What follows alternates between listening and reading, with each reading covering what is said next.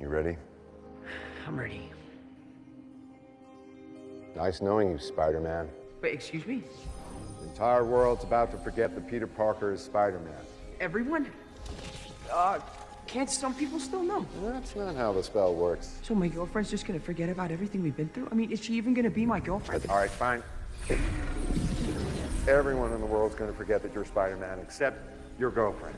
Thank you so much. That... Oh my God, Ned. Okay, let's not change the parameters of this spell anymore while I'm casting Okay, I'm done. it. I'm done. I, I swear I'm done. I'm done. Nah, but my Aunt May should really know. Dude, just stop talking to me.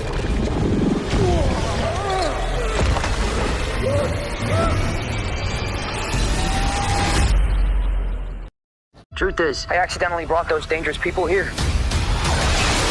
The world, if you're watching, wish me luck.